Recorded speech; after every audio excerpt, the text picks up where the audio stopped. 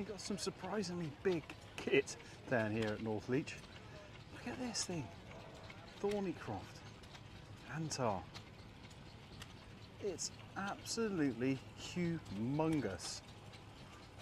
Presumably this would have dragged tanks along or something, would it?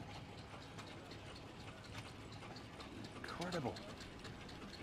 What people keep, eh? My little Detroit looks like a little toy, doesn't it? You know what Mrs. Mac's moaning about? Look at that. That's a, that's a complex fifth wheel, isn't it?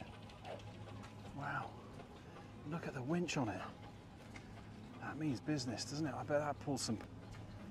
drags your tank back up there. You need a pair of step ladders just to get in the thing.